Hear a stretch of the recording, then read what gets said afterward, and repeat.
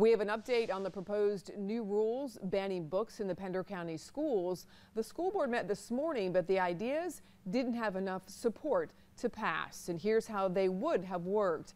If a book is challenged in one school, a committee would have been set up at every school in the same age group to determine if it's appropriate. If there was disagreement, a separate community committee would step in and make a district-wide decision. And parents would also get 30 days total to appeal any decision. These uh, proposals come months after the school system took eight books out of the classrooms, but those only affected individual schools. In today's meeting, two board members voted for the policy changes, another two voted against, while one board member had to leave early and couldn't cast the deciding vote. We'll keep you posted on what comes next for these po policy change proposals.